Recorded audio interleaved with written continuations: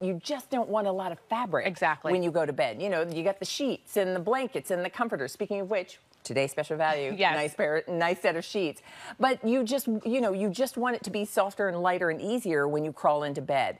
Um, this is the perfect sleep set, and you can see on Michelle, it's adorable. And not only, Mel, are those shorts not shorty shorts they're not tight around the thigh. Exactly. Yeah. The leg opening. set. Yeah, the leg opening is generous enough where you don't feel like it's binding to the thigh. You're not having, you know, skin spilling out from the side. Yeah. It's they're really well made, and it just looks like that set where if you were to gift this to somebody, mm-hmm. it looks like the set that maybe you got when you went on to, you know, the third floor of a department store mm-hmm. where things are beautiful but maybe a little bit too pricey. This to me has that boutique type style to it. I agree, and I have to say I like the point.